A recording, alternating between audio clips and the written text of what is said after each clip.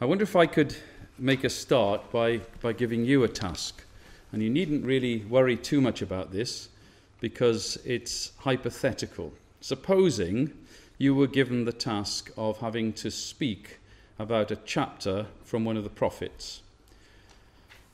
And you didn't have any preparation time whatsoever. It had to happen straight away. And you could choose any chapter and you'd have to say roughly what's in it and what does it mean. Uh, and the restriction is that you have to pick a chapter from the book of the prophet Ezekiel. Now, my guess is that you would probably go for chapter 38. I may be wrong, but that's probably what I would go for. It's because we know Ezekiel 38 so well. We know that from the days of Brother Thomas, when he expounded Ezekiel 38 in Elpis, Israel, how he spoke about Gog who was to invade the land of Israel and identified Gog as prince of Rosh, Meshech, and Tubal, identified it with the Russia of his days. And how that it would happen when the land of Israel was no longer desolate, but was gathered out of the nations. No people had been there, as far as the Jews were concerned, for many centuries. But according to Bible prophecy, Brother Thomas expounded the fact that they would go back there. They would go back, that there would be a pre adventual colonization of Palestine before the manifestation of the Son of God. So we know that, we know it so well. And for that reason, I guess that we would be able to, without any preparation, speak to somebody who wanted to know something about that chapter. But what about this verse? And this verse perhaps is a little bit more obscure. So, having given you a task which you've been able to accomplish, I guess, in your minds, maybe, um, I've got a task now. And what my task is, is to try to make this verse as memorable as some of the other verses that we know so well in Ezekiel chapter 38. So, it was the last verse of our reading.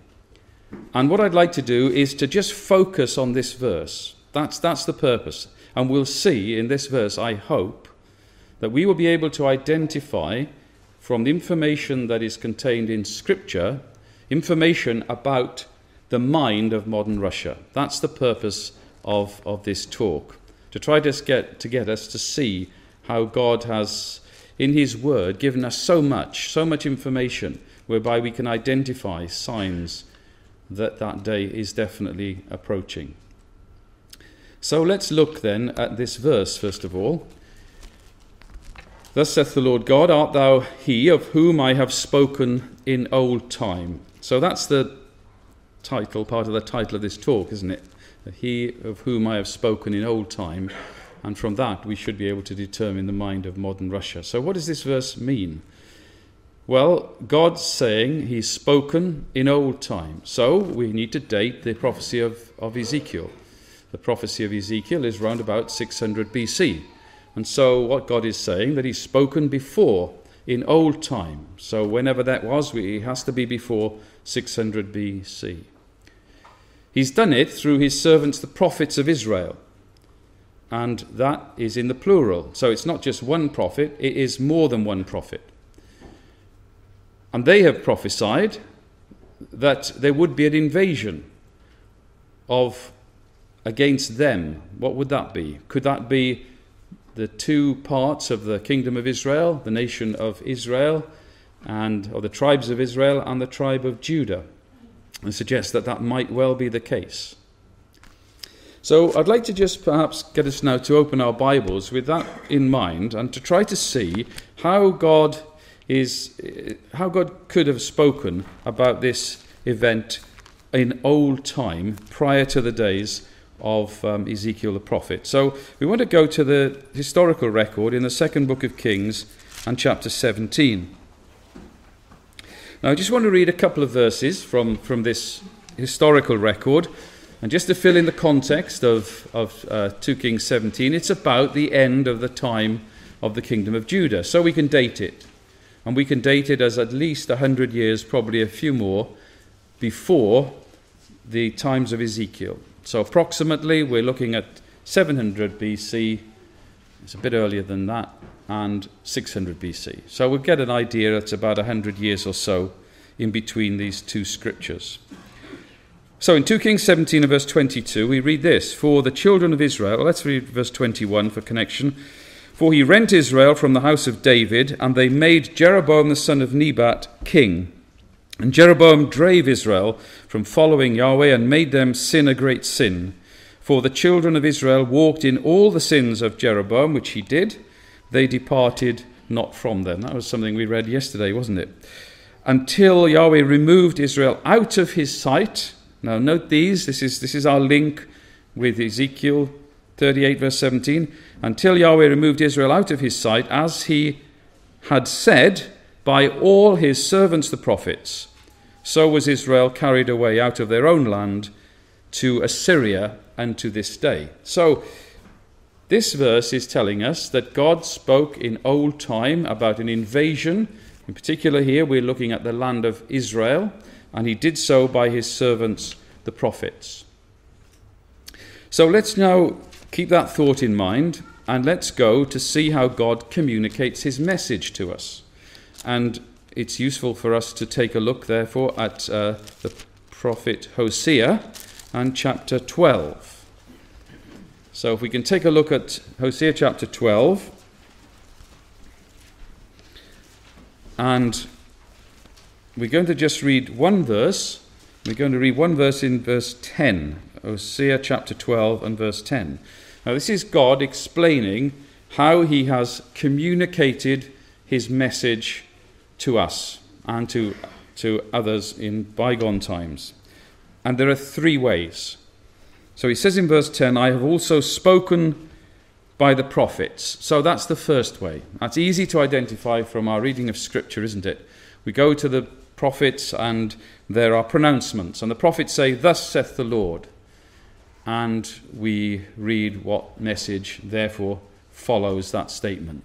So God speaks through his servants, the prophets, and that is one method of communicating. And those words have been recorded for us, those that were deemed necessary for us to know about them in the Word of God. So that's the first way. The second way is this that I have multiplied visions. So that's another way. God gave visions to various people, prophets, kings. He gave visions to, to, other, to others, and those visions have been a means of communicating his message that he wants man to know about himself and about what he's going to do. And so, in the book of Amos, for example, there are visions of Amos, um, which he saw and which God asked him to to de- describe what he saw, and then God gave the meaning uh, of, of that vision. And there are visions in the book of Daniel, which we are very familiar with, which teach us such a lot about those things which would happen during the times of the Gentiles. And even Isaiah the prophet, it starts off, doesn't it? The vision of Isaiah the son of Amos, uh, the prophet, which he did see. So that's the second one. And the third one is this and used similitudes by the ministry of the prophet. So, three ways spoken, visions, and similitudes. So, what does that mean? Because that's the one that's probably a little bit more difficult for us to get to grips with. What does that actually mean? So, let's look at the Hebrew word, and the Hebrew word is damah, D A H A uh, D A M D A H M A H. Uh, or you might have it spelt differently um, depending on who's put the concordance together. So, the best way we can find out how that, what that word really means is to look at its use in other scripture. And the best place I can take you to is the Song of Solomon. Now, we're going to get to Russia soon, I can tell you. But we're now going to look at the Song of Solomon. We're just in the, setting the basis for all of this.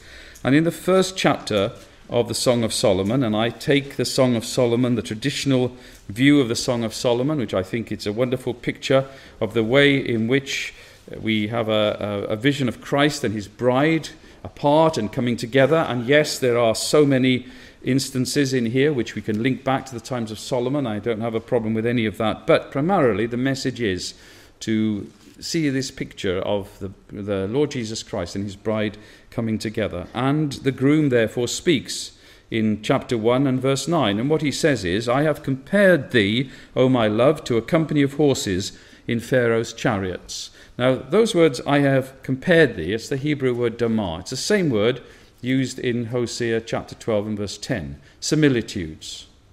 Remember, this is a, a, a primary method of communication by God to his people, to us. And it's similitudes. And what's happening here is the groom is saying, and he's looking at, at, at the company of horses in Pharaoh's chariots and how majestic they must have looked, and he's comparing his bride to that, that picture. We go into chapter 2 and verse 9, you see the word used again. You see it used in verse 9. And this time, it's the bride who's speaking. And she says in verse 9, My beloved is like a roe or a young hart. And that word like is the same Hebrew word damah. It's exactly the same word. And then in verse 17, until the daybreak and the shadows flee away.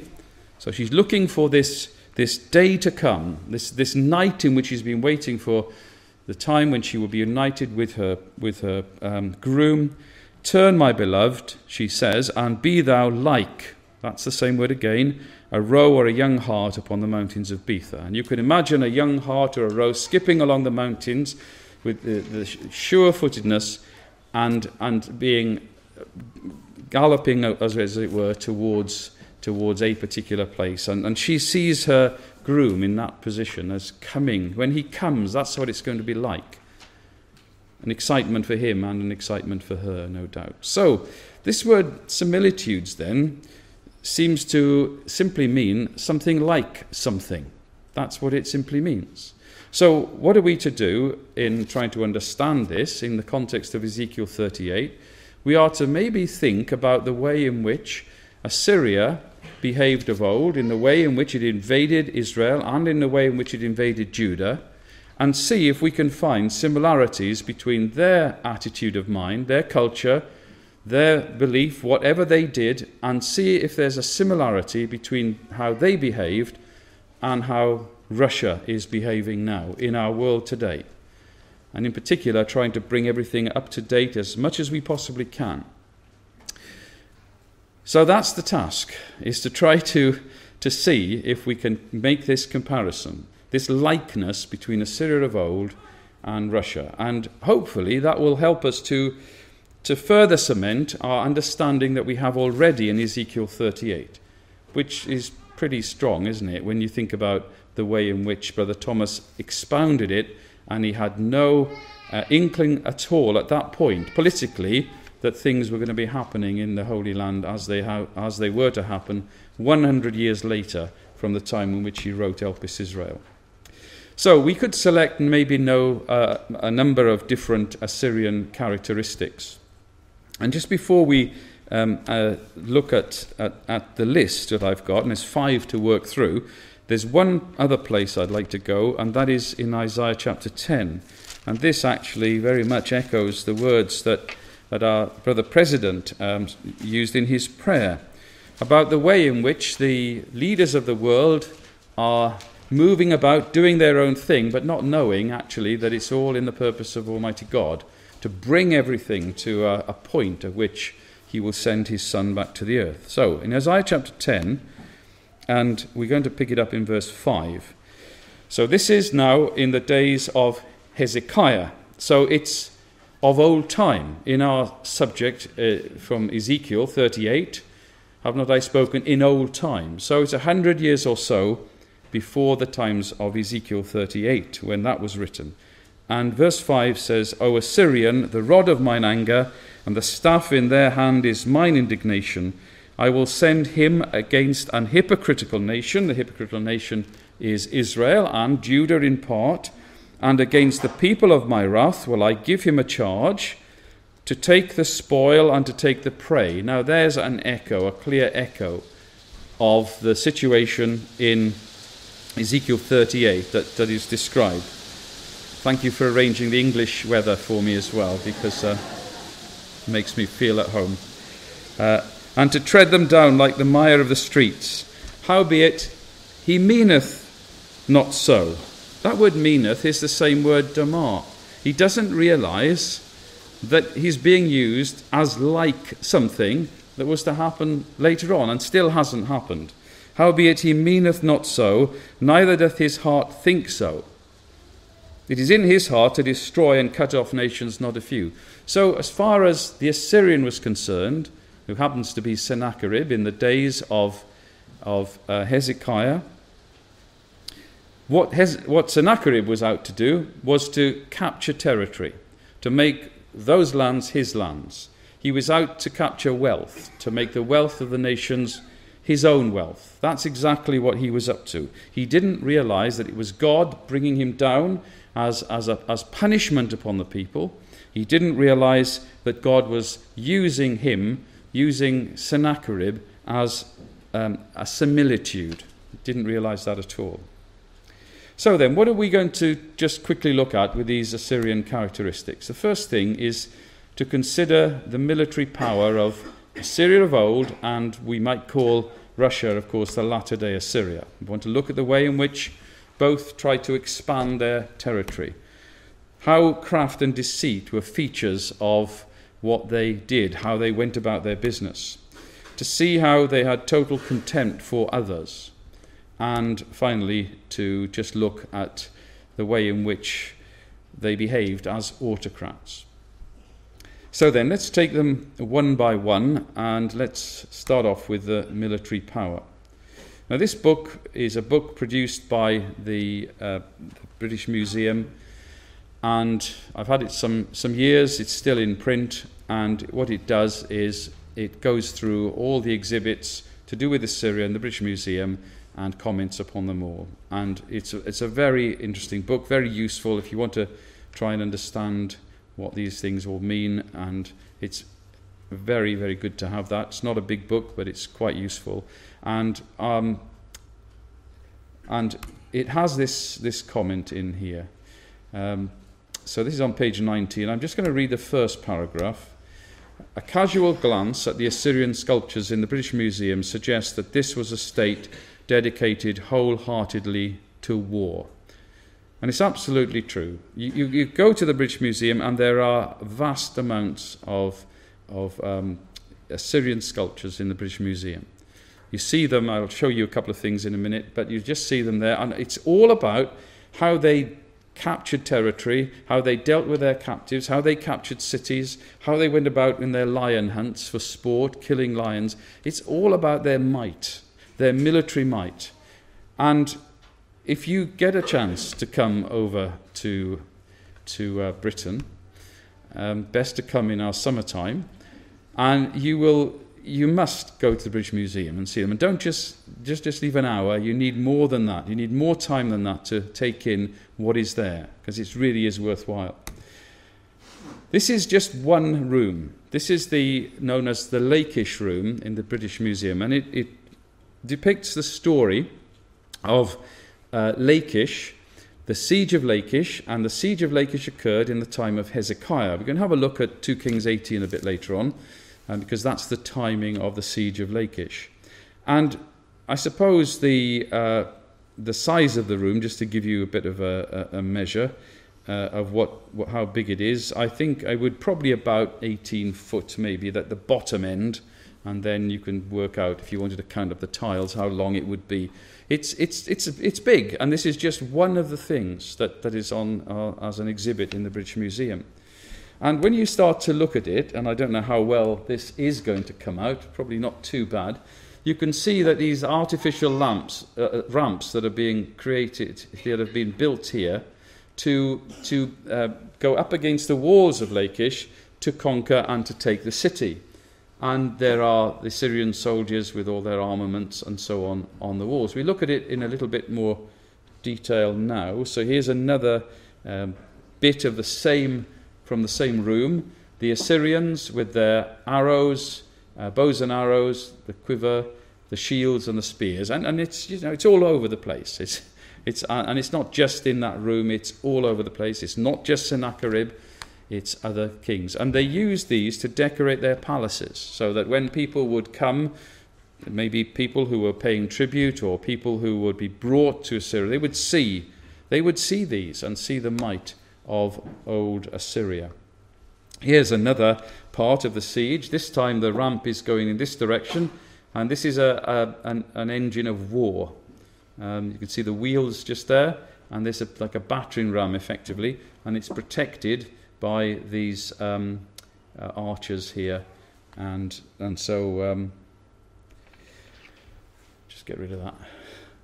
So you can see that, that it is, I think it's fair to say, uh, um, a country dedicated wholeheartedly to war.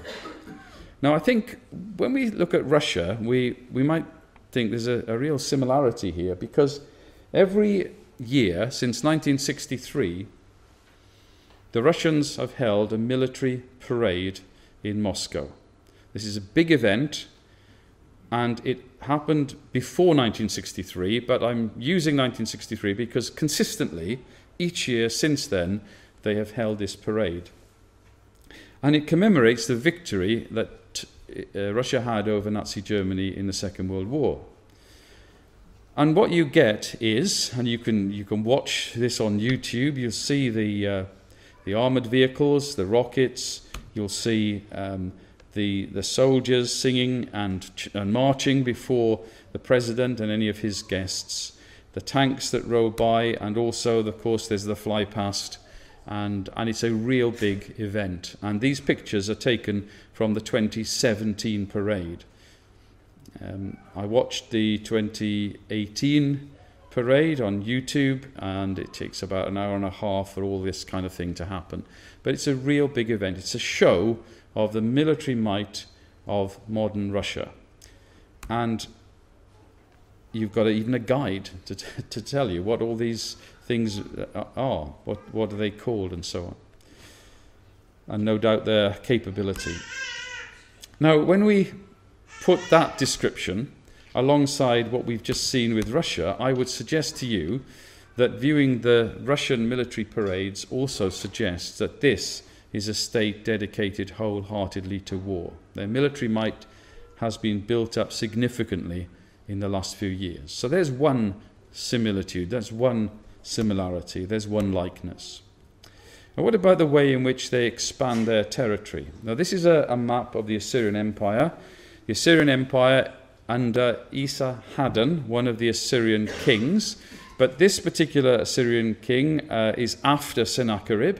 He's actually one of his sons. He's not one of the two sons that killed him. You remember Sennacherib, after the defeat of the Assyrian army at the time of Hezekiah, goes back to Assyria, and his sons later kill him, two of his sons. This is a son, but it's not the one that, that killed him. And, and you've got the extent of the empire under Esarhaddon. But what we have here is a, a little tiny piece of, of land, which is Judah, and in particular Jerusalem, which they never took. They never conquered that. And that's because of the way in which Hezekiah got the people to trust in the Lord their God. And that was, of course, prophesied. You may recall that in Isaiah chapter 8, the invasion of Assyria is described like a river overflowing its banks. And when a river overflows its banks, then there's a flood of the land. And so, as Assyria went forward to expand its territory, it flooded these lands. But it wasn't going to flood Judah because the prophet Isaiah said that he shall reach even to the neck. And so their head, the principal part as far as God is concerned of his land, was Jerusalem. And, and therefore the flow of waters only went up to the neck. They never went over the head of, uh, of the kingdom of, of Judah. So that's the extent of the Assyrian Empire, and the Bible tells us that there were waves of Assyrian invasions against Israel and against Judah, and each time tribute was paid to the Assyrian kings. Now, I've listed there four, three of which are in Scripture. That's the last three. The top one, Jehu to Shalmaneser III, is not in, recorded in Scripture, but it is uh, in the black obelisk again in the British Museum, and Jehu is seen paying tribute to Shalmaneser III. There's also uh, invasions to of of the land of Judah, and we've got those. All of those, apart from that one there, all of these are recorded in Scripture. So there's a number of waves of Assyrian invasion and tribute being paid to the Assyrian kings. So we need to understand a little bit more about Assyrian history. And in this other book, I'm recommending you two books now. This is Ancient Iraq. Um, it covers the Assyrian Empire because Iraq uh, also the, it would look at the Babylonian Empire, would look at earlier empires. So it doesn't just cover Assyria, but it is quite interesting. And you have to realize that Assyria got to a, a particular height of its power, and then it went into decline, only to rise to power again. And this book records that, and it tells us that for 36 years, and gives us the dates of 781 to 745 BC, Assyria was practically paralyzed. For several years, there was no king in the country. Now, just think of Jonah for a moment as a complete aside, but it's useful to have this bit of information. Jonah was asked to go to Assyria, and when he eventually did go to Assyria and said, In 40 days Nineveh shall be overthrown, it was the king that took action from the king downwards and caused the whole nation to repent and therefore the judgment upon Nineveh was deferred. It didn't take place at all in that time. And Jesus comments on that, doesn't he? That the men of Nineveh repented at the preaching of Jonas. Now, what's interesting then is after that period of decline, this man here, Tiglath-Pileser, was the rebuilder of the Assyrian Empire. And he rebuilt this empire, made it great again, and then other kings uh, uh, uh, uh, followed on from him, continuing the expansion of the Assyrian Empire. So let's think about that and those facts in relation to modern day Russia. So we're going back to 1922, which is hardly modern day, but we need to start there because that's when, soon after the First World War, we had a change in the uh, politics of Russia and there was a formation of the Soviet Union on the 29th of December 1922. And you may see, well, what are these things here? These are the six languages of the six states which formed the original Soviet Union way back in 1922. And this massive hammer and sickle, which is the symbol of their empire and the symbol of communism, is is really big, isn't it, on the world. And that was what they wanted to do.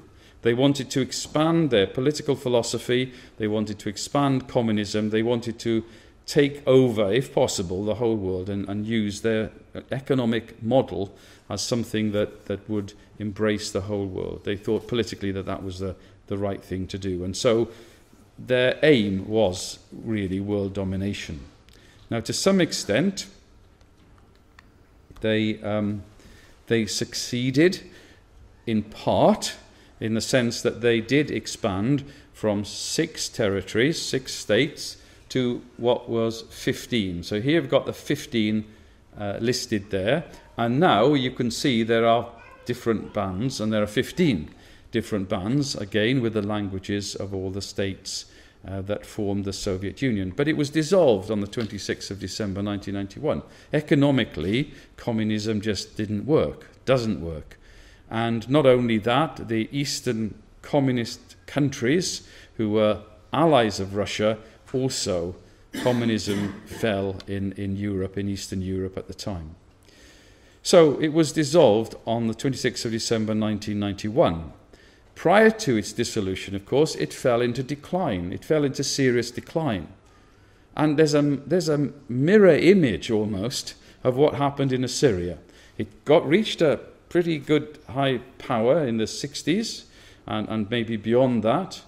Uh, it was one of the two great world powers, and then it went into serious decline and it was dissolved. And it wasn't until Putin comes to power round about 2000 and he starts to rebuild it. He's, he's the modern day Tiglath-Pileser who rebuilds Russia.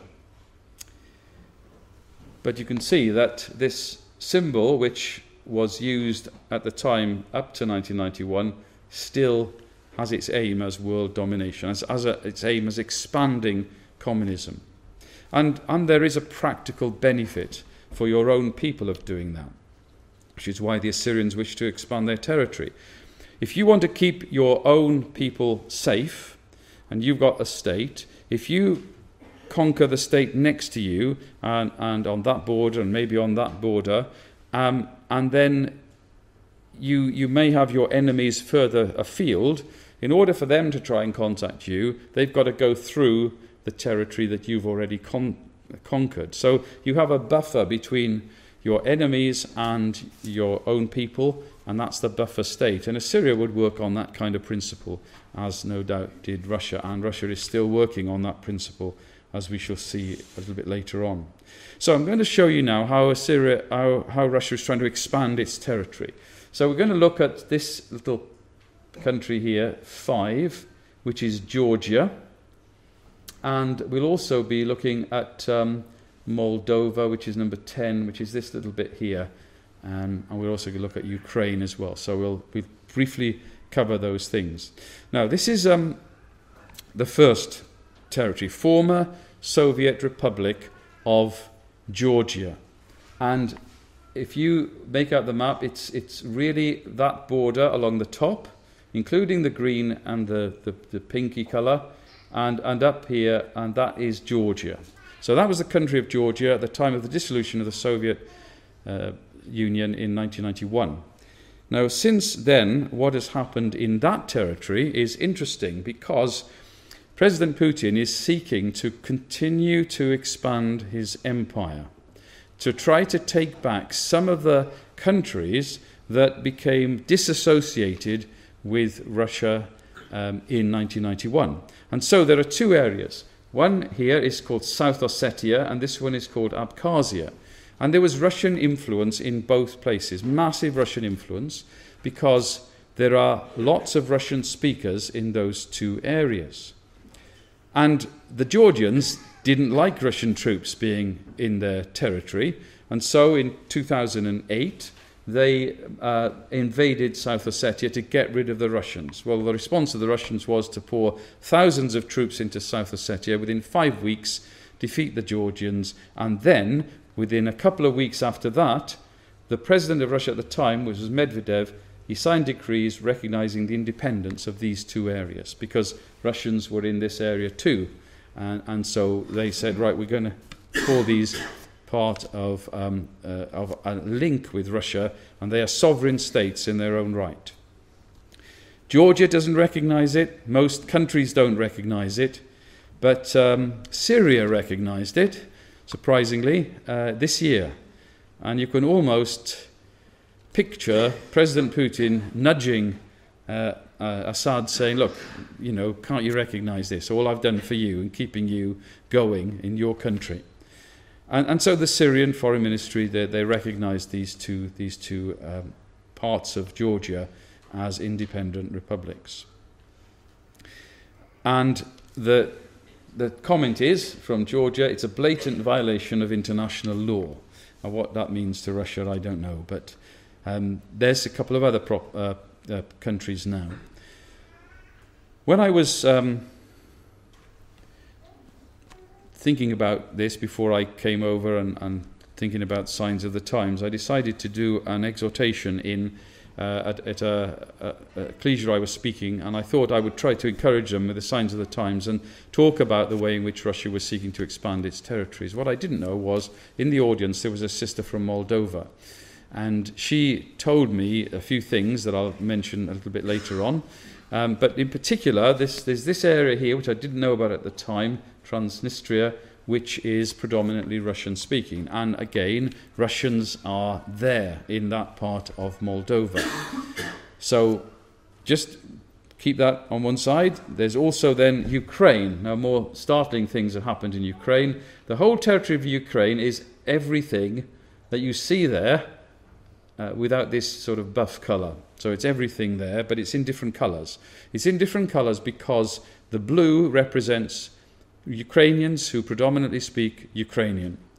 The, the pink is where Russian and Ukrainian is spoken, probably in about equal measure. And Crimea, here, which has been hitting the news lately, and this part of eastern Ukraine, predominantly Russian speakers. And as far as President Putin is concerned, if you could speak Russian, then you're Russian. And he's been, therefore, he was able to go into Crimea and he was able to take Crimea. And there are Russian troops also in eastern Ukraine. Now, this is all um, quite interesting because in 1994 there was an agreement. After the breakup of the Soviet Union, there were nuclear weapons in Ukraine. Uh, the Russians didn't really want them to still be in Ukraine, so there was a, a, a treaty signed. And this was signed by uh, a number of countries, as you will see. And I'm just going to read one uh, sentence to you, which will give you the picture. So this is an agreement, United Nations, okay? And it says the Russian Federation, the United Kingdom of Great Britain and Northern Ireland, and the United States of America reaffirm their commitment to Ukraine in accordance with the principles of the final act of the Conference on Security and Cooperation in Europe to respect, getting to the point, the independence and sovereignty and the existing borders of Ukraine. Russia signed this, along with those others, and they've gone in subsequently into Crimea and they've annexed Crimea um, as part of their territory. And commentators, political commentators, say that the non violent takeover of Crimea by the Russian forces was an unprecedented event in the history of post war Europe. There the dates on when Crimea was annexed, and eastern Ukraine is still a problem. It's not been annexed yet, but there are lots of Russian speakers there, lots of supporters of Russia, but and Ukraine on the other side is, is not in uh, an agreement with what Russia's doing, but there are lots of troops there, and we wonder what's going to happen next. And this is kind of a really important buffer state, isn't it, for President Putin, because Ukraine was leaning towards membership of the European community, leaning towards membership of NATO, and he doesn't want that to happen at all. Now, we move on now to look at craft and deceit as our third point. And this is where we kind of realize how he's able to get away with so much, how Putin is able to get away with the things that he does. And we can add to that lies, treacherous, treachery, and dishonesty. Now, this is the Sennacherib's prism, also in the British Museum. I hope I'm whetting your appetite for, for a visit uh, to um, to the old country.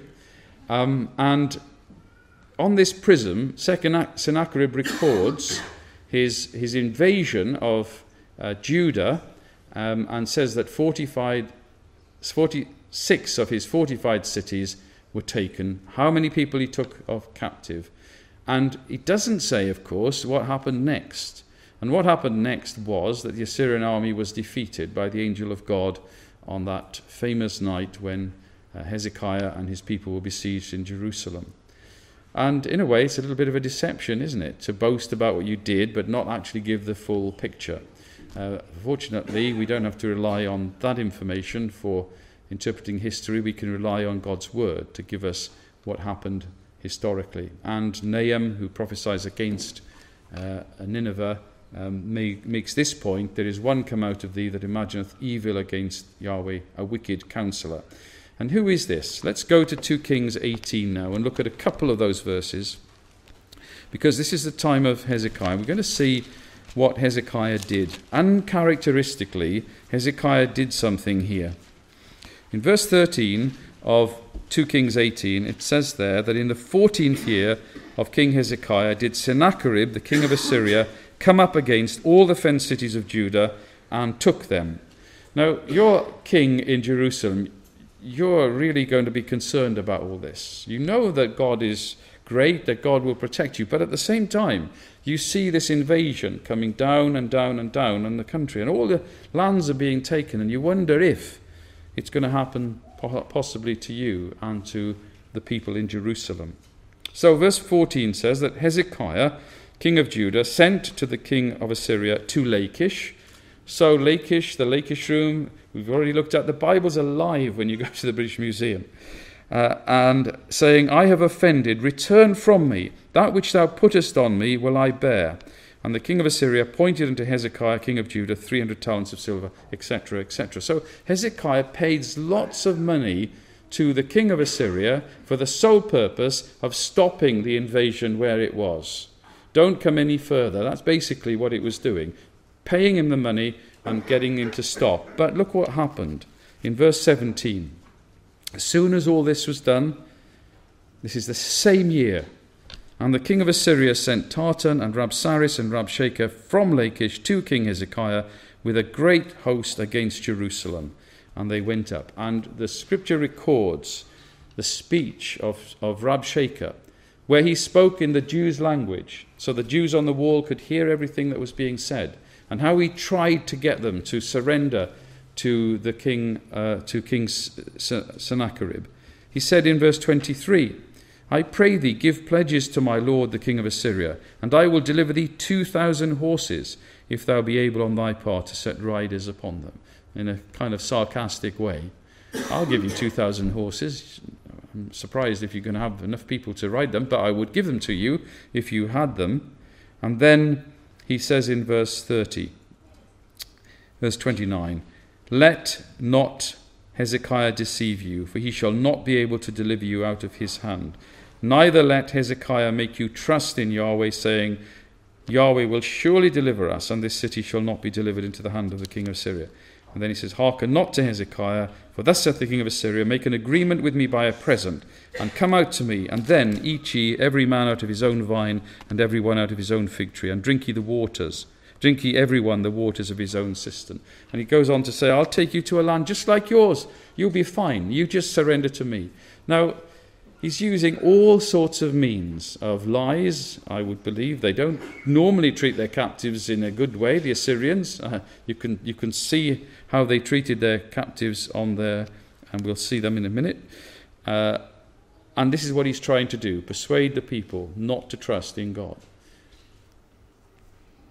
it was a dishonest speech, wasn't it? This was the Assyria of old. This was the way in which they operated. This is how they tried to manipulate thinking and, and their people. And so Isaiah prophesies of this and says, Woe unto woe to thee that spoilest, and thou wast not spoiled. So nobody went over to Assyria and took their territory. Nobody did that, but they went to spoil other people's territory and deal us treacherously and they dealt not treacherously with thee.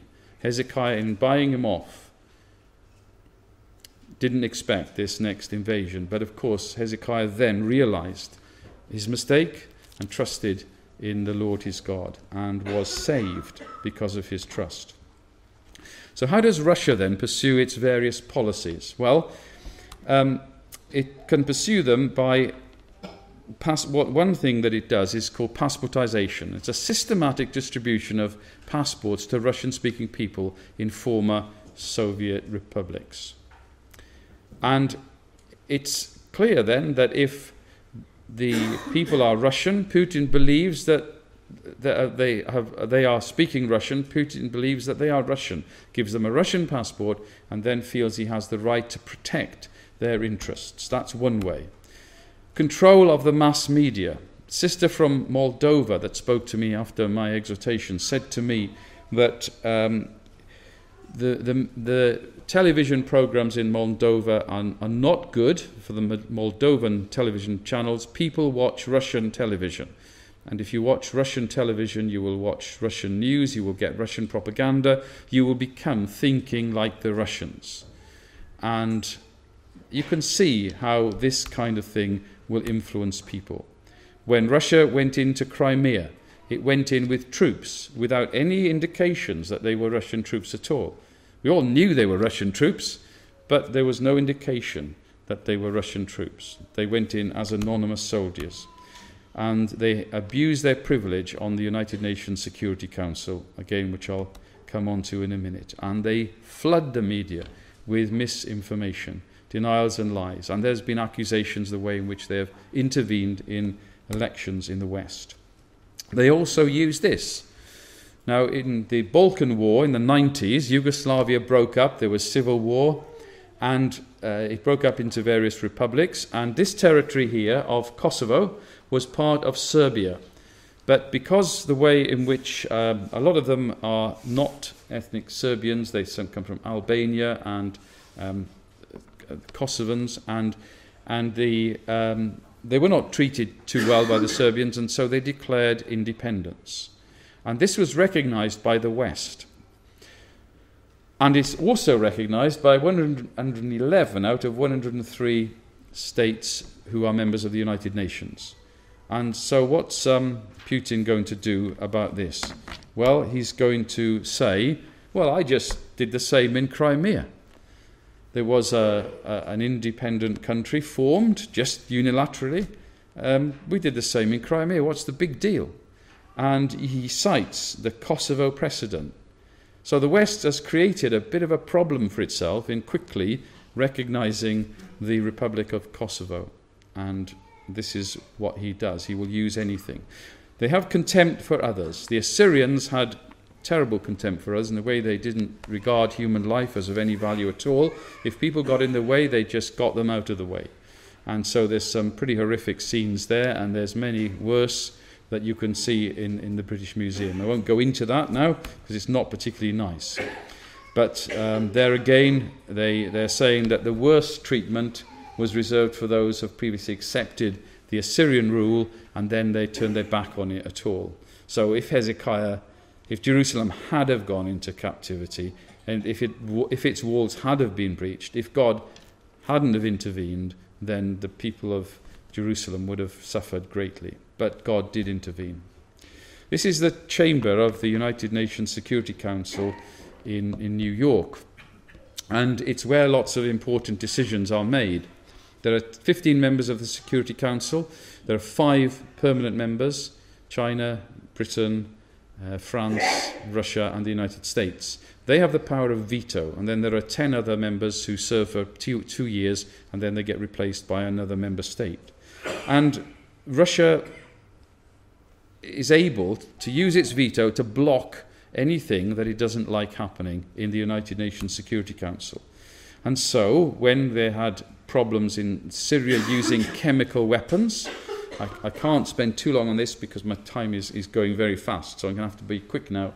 But this is the 12th time, this is, remember, in April this year, 12th time that Russia used its veto power at the Council to block action targeting Syria because it uses Syria as an ally. It has an air base and a naval base in Syria, which um, they've been granted a naval base for 49 years and thereafter they can extend that for 25 years. So, so they're there in Syria, and Syria, of course, is the territory of the King of the North. At least it definitely is. There's other parts of the territory, yes, but absolutely Syria is in the territory of the King of the North, and Russia is there permanently now, as far as we can see. Uh, this again was uh, a, particular debate going back to the use of the nerve agent in one of the towns in, in England, in Salisbury, um, and uh, various comments there. Again, I haven't time now to say that. Time seems to be racing away. But this is significant. This is the British Prime Minister Theresa May making a statement and looking at, uh, again, this was made this year, and she's basically saying Russia promised to let Syria, to, to get chemical weapons out of Syria. And it clearly hasn't done that because they've used them again in 2018. Uh, and, and she's pointing that out, and she made that in, important statement earlier on this year. So Russia has complete contempt for the way in which the rebels in Syria are being gassed by President Assad and his regime. Complete contempt. Doesn't matter to them because they want to be in Syria and they want to keep Assad in power. Autocratic, they are incredibly autocratic. The Assyrian kings, we've got a couple of depictions there of Sennacherib and Tiglath-Pileser, the third, and, and you wouldn't want to cross any of these. No way would you want to cross them. After the Russian Revolution, the Russian leaders behaved the same. Stalin emerged as one of those who got rid of all opposition and ruled for many, many years. And we're seeing now a, a new face, new face from the beginning of this century, uh, President Putin. These pictures are 10 years apart. This magazine here, Time magazine, was in November 2007, and this is uh, The Economist of, of November 2017. And both have the same headline here. You might not be able to read out the back, but it says a Tsar is born, and there again, a Tsar is born. Putin dressed up um, in Tsar, um, regalia. He became prime minister almost out of nowhere in 1999. So Yeltsin was the president, he was ill, and then he became president and won a second term. And so this presidency lasted two terms, which was four years each term. He wasn't allowed under the Russian constitution to, to stand again. So his friend Medvedev here, he took the role of president during this period, and Putin was prime minister. And nobody knows really who is properly in charge there, but it's described as a Putin Medvedev tandemocracy. Um, and, and so then during that period of time, the Russian constitution was changed so that the period of occupying the role of president was extended from four years to six years.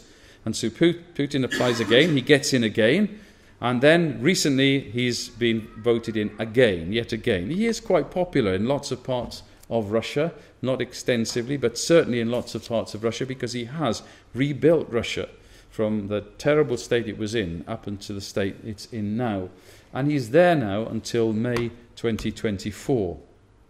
Now, is he the Gog of Ezekiel 38? That's the question that we'd all like to know the answer to. And we can't really give a proper answer to that, can we? A definite answer.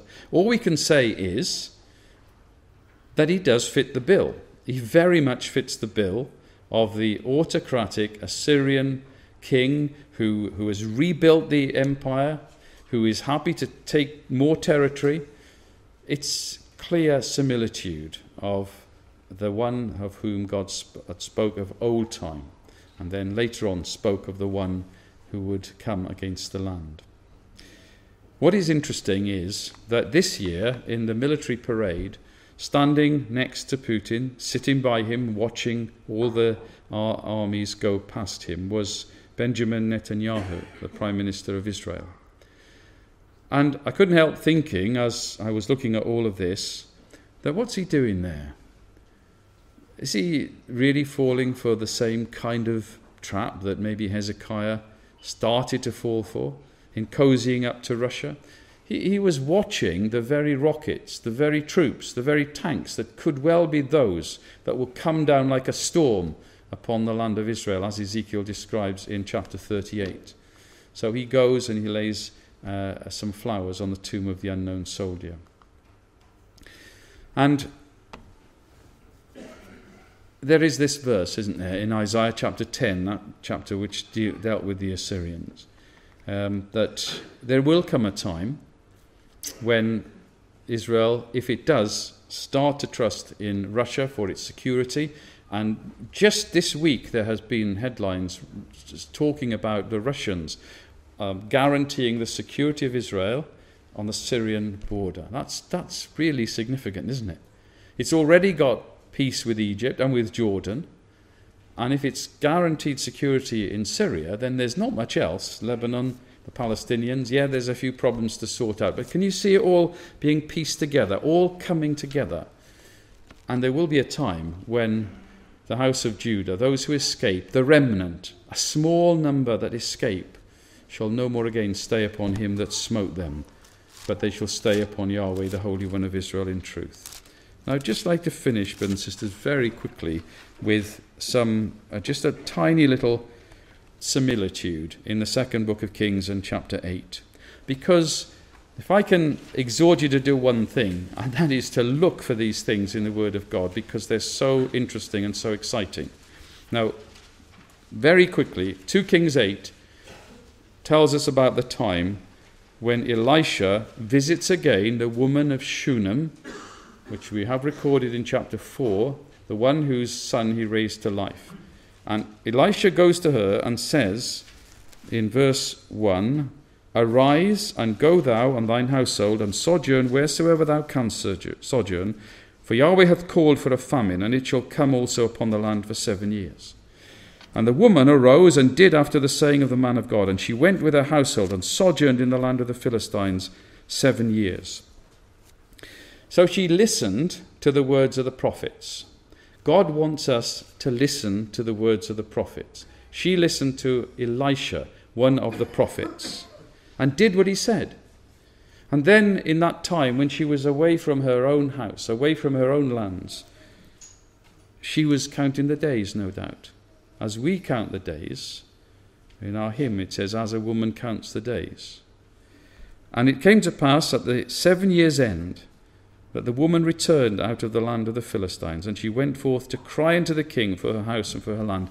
She wanted her inheritance.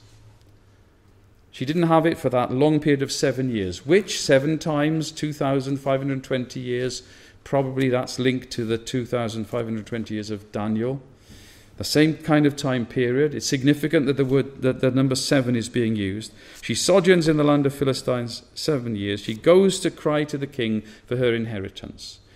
And God does the rest, doesn't he? Because the very time she goes, she's in the right place at the right time and she cries to the king. And who's there? Gehazi is there, the servant of Elisha. And he's talking about the very act of Elisha restoring to life her son. And he says in verse 5, at the end of the verse, My Lord, O king, this is the woman, and this is her son whom Elisha restored to life. And look what the king says Restore all that was hers, in verse 6 and all the fruits of the field since the day that she left the land, even until now. So, my dear brothers and sisters, as we contemplate that, we think of ourselves who, in this night of Gentile darkness, are counting the days until that time comes, that day appointed when the Lord Jesus Christ will return to the earth. And we want that inheritance in the land of promise. It's promised to us, to Abraham and to his seed. And if we are Christ, then are ye Abraham's seed and heirs according to the promise. We want the promise, but in order to get it, we need to do as she did listen to the words of the prophets, and God will do the rest.